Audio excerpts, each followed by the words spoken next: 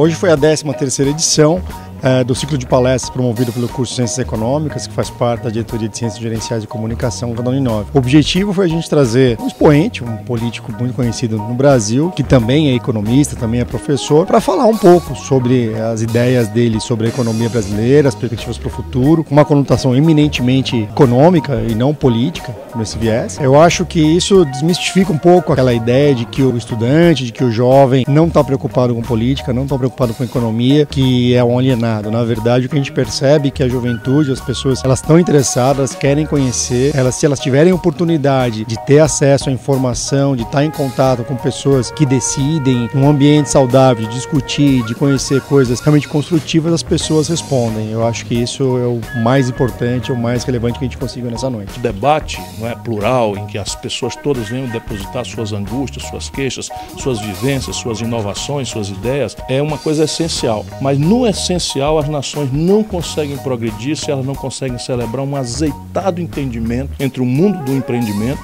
o empresariado, se for o caso, o mundo político e a universidade. Porque é a universidade quem ilumina o debate político faccioso. A universidade é que dá luz, é que põe ciência nas nossas paixões. E esse bom encontro entre empreendedores, trabalhadores, né, políticos e estudantes e professores é que produz o sucesso da humanidade.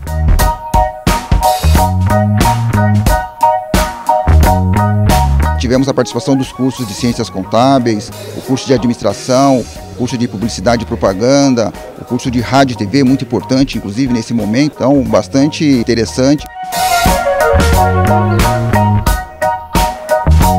Eu achei muito interessante toda a palestra em si e pude acompanhar mais sobre todo esse cenário que são coisas que basicamente na internet a gente não pode acompanhar. A falta de conhecimento faz a gente repetir erros históricos e infelizmente sofrer com eles de novo também. Então acho que foi uma oportunidade muito bacana que a Unilove trouxe pra gente e acho que agrega bastante para o nosso conhecimento do dia a dia e também, principalmente em relação ao curso e à economia do país. Ele mostrou amplo conhecimento, ele também falou muito de economia mista, de expandir os mercados, onde o governo tem que interferir, vai interferir, onde o governo tem que deixar o mercado aberto, ele vai se desenvolver, que é o que nós precisamos hoje. Não podemos ter uma política extremamente direita nem extremamente esquerda. O mundo está globalizado e precisamos de uma economia mista para desenvolver o país.